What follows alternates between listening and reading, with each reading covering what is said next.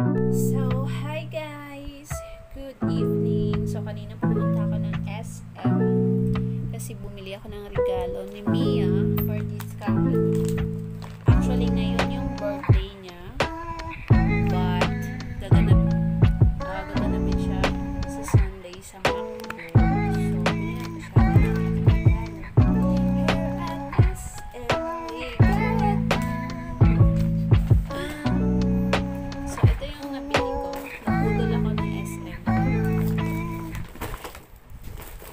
So, ito.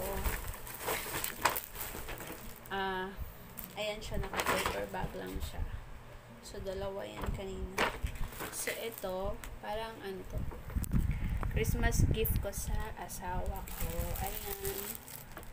So, bonus naman niya. Siyempre, deserve naman niyang regaluhan. So, early Christmas gift to siya. So, request niya kasi is mga polo kasi nga may mga meetings, may mga conference siyang aatinan. So, this one, large yung kinuha ko. So, I hope kasha niya. So, sabi ko, medyo moreno. Hindi mo siya katamtama na itim. Hindi mo siya maputi. So, narecommend ng ng sales lady ito daw. So, maganda. Ayan yung brown niya. So, hindi siya naka-discount, pero okay lang kasi deserve naman to. Kasi minsan lang naman siya bumibili. Hindi naman minsan. Siguro sa one year, mga tatlong beses or apat na beses siya bumibili. So, ayan. May papolo na rin si dalawa kasi yung binili kong polo sa kanya. Ito light lang siya, tapos maliliit lang yung design niya. So, at, ganun din yung ah, ganun din tong ano niya, brand. So, I hope magustuhan niya. So, ito, naka-sale siya. Polo naman siya. Naka-discount siya. Coach. Coach na menswear. So, red siya kasi nga darating magpapasko na. Dapat naka-red. Diba? So, buksan natin yan later. So, sabi niya, B, nawawala yung mga medyas ko kasi nga saan-saan lang yan nilalagay. Kaya binilhan ko na naman siya. Ayan, tatlo. Kasi gusto niya ganito lang. So, yan yung tatlo. Sa kanya lang yan.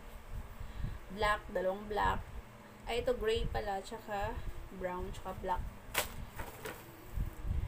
So, meron din ako nabili dito. Yung nabili ko para sa sarili ko, toothbrush namin dalawa. Tsaka ito, yung sa brush ng ano, kasi mahirap, ba pag may brace. So, ito yung nabili ko sa sarili ko. Tsaka toothbrush. Tsaka meron na rin akong binili sa ah, sa aso. Ayan siya. Siyempre, may parigalo na yung aso din natin. So, binilhan ko na siya nakaraan ng mga aso namin is apat. So, binilhan ko na, na nakaraan ng vitamins. So, ito yung chicken naman siya. So, 39 pesos lang siya. Uh, oh yeah, 39 pesos. Smart Heart. Chicken siya, chicken. Tsaka ito, beef naman siya. Yan, beef. So, pang adult lahat. Tsaka meron silang treats na beef flavored. Ayan siya. So, mura lang man si Siyempre, minsan, bibilan din natin yung mga alaga natin aso. Tapos, dog food, nakaraan, binilan ko na. And then, bukas, bibilan ko ulit yung maliit kong aso ng dog cage. So, update ko na lang kayo. Tapos, pumunta ako ng Mercury Drug, syempre, para sa atin, sarili. So, nakabili ako ng Myra E. Diba? So, ano lang to, sa one week, tatlong beses ko lang siya iniinom kasi nga, hindi naman, uh, lagi talaga na iniinom ang Myra E, diba? So, makain ka din naman ng rich in vitamin E, so no need na siya ng Myra E. So, thrice, sa one week, oh, tatlong beses ko lang. Siyempre, nabudol na rin ako ng vitamin C. Hindi naman nabudol kasi good, good naman siya sa lalo na ngayon kasi nga magpapasko malamig yung panahon. So, kailangan natin ng vitamin C. So, ito, buy 2, take 1, get 1. So, 155 pesos lang siya. Nasa Mercury Drug siya. Siguro makikita nyo yan. Ano siya? Sodium ascorbic zinc.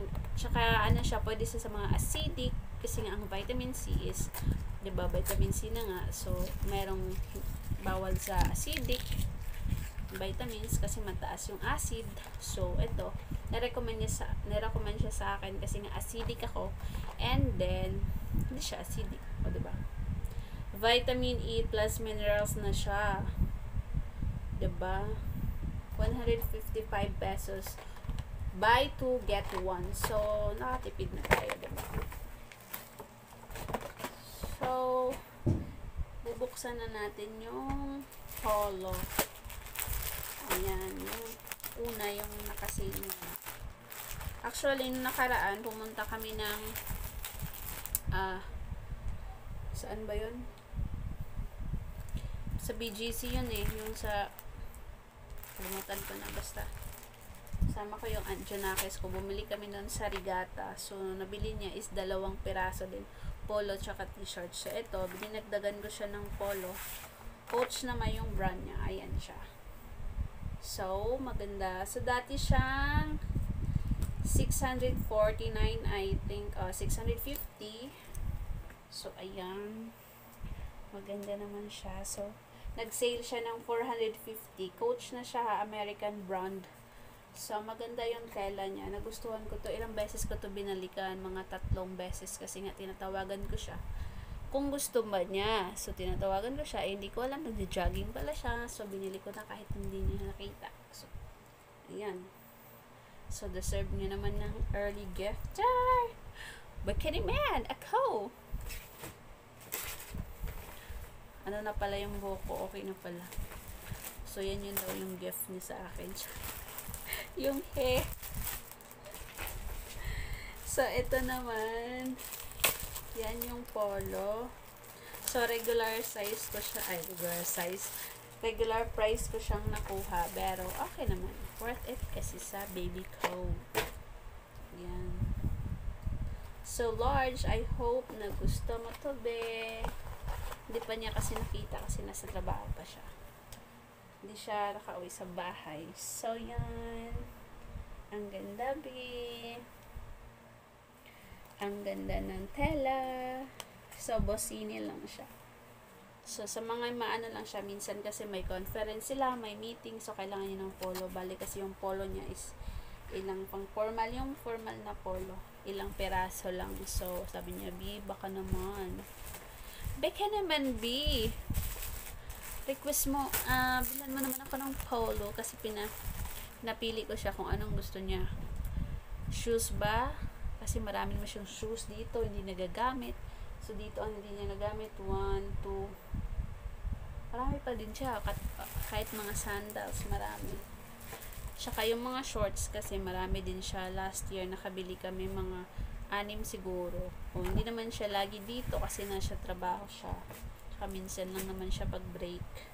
So, ayan B. Yung isa, light blue naman siya. So, ito yung nirecommend ng sales lady kanina. Kasi sabi ko, hindi naman siya katamtaman ng puti. Hindi naman siya, um, medyo parang moreno lang siya. So, yan daw. Light blue to siya. Maganda. At, nagustuhan ko rin. Kasi ang lakas makabagets. O, diba? Ang lakas maka-teenager yung kulay. Pero, yan, B. Suotin mo na to, ha? Sabi ko sa kanya kanina sa chat, uh, I'm sure magugustuhan mo kasi gwaping-gwaping ka na. Gwapong-gwapo. gwaping na gwaping. So, ayan. So, I hope you like it, baby. So, yan lang mga guys.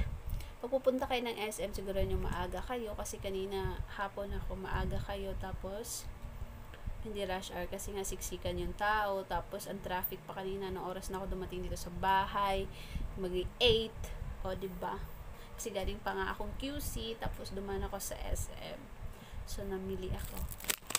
That's what the, yan lang po. Good night. That's it for tonight